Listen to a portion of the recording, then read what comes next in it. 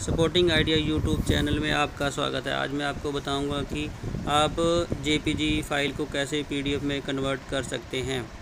इसके देखने के लिए मैंने एक जेपीजी इमेज ली हुई है। जैसे कि आप पिक्चर में देख सकते हैं, आप आप आई पे क्लिक करिए और देखिए कि यह जेपीजी एक फ़ाइल है, जैसे कि आपको रेक्टेंगल में दिख रहा है।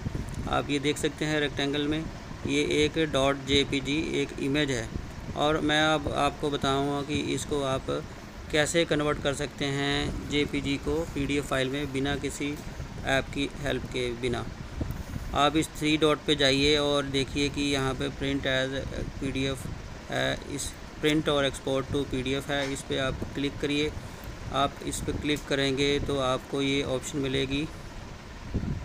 जैसे कि अभी ये रीलोडिंग हो रहा है, आप देख सकते हैं इस पर आपको ये पिक्चर रीलोड हो चुकी है। अब आप इस पर देखिए, यहाँ पे क्लिक करिए, देखिए पेपर साइज़ है, आप लेटर में कर सकते हैं ए फोर साइज़ में कर सकते हैं। अब मैं ए फोर साइज़ में करता हूँ और ओरिएंटेशन आप लैंडस्केप कर सकते हैं। तो अगर आपको लैंडस्केप चाहिए तो अगर नहीं तो मैं पोर्ट्रेट ही रहने देता हूँ। तो अब मैं आगे बताता हूँ कि आपको ये कैसे करना है इसको, ठीक है? इसको ऑप्शन कर देंगे, आपको ये सेव की ऑप्शन आ गई। इस पर सेव पर आप इसको क्लिक कर दीजिए।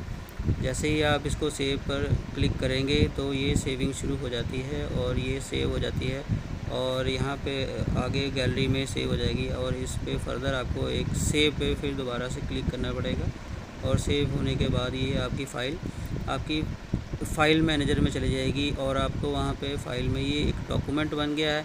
ये आप डॉक्यूमेंट के फ़ोल्डर में से देख सकते हैं इसे। जैसे कि मैंने अभी देखा, ये गैलरी पेजेस में वन नंबर से अभी सेव हुई है, पीडीएफ फ़ाइल बन चुकी है इसका।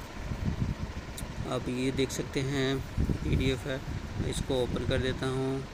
आप ये देख सकते हैं इस फ़ाइल को, इसको आप जूम कर सकते हैं और इसको प्रिंट कर सकते हैं, पूरे ए फोर साइज़ पे आएगी, क्योंकि मैंने अब मैं आपको बताऊँगा कि आप इसको कैसे सेंड कर सकते हैं। आप थ्री डॉट पर जाइए, वहाँ पे आपको ऑप्शन मिलेगी सेंड फ़ाइल, ओपन फ़ाइल और डाउनलोड और प्रिंट, आप जो चाहें वो कर सकते हैं।